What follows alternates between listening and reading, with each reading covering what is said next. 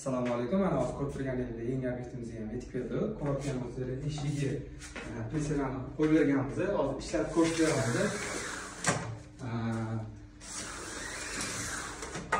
yana bitta narsa bor.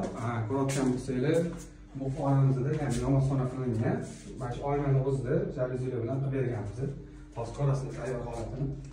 Orqasida blackout qo'yilgan. Yopiladi bu.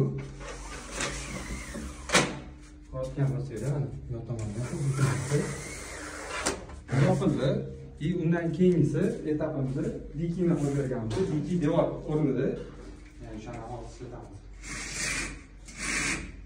qo'yiladi qo'yib qo'yiladi и bu yerda ham xuddi shu narsa bo'ladi и mana hozir ko'rayotgan bo'lsanglar to'g'risida ham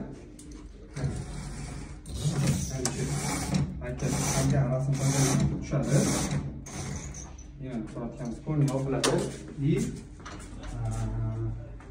ayoni ham xuddi shu bo'ladi и bo'ldi ko'rayotgan bo'lsanglar mana bu yerda ochib yopish ham shart emas bemalol kelib ko'rsin shunday olinadi отдельно dona dona bemalol chekib ketaversangiz bo'ladi yopib qo'yaveradi bemalol chiroyli chiqadi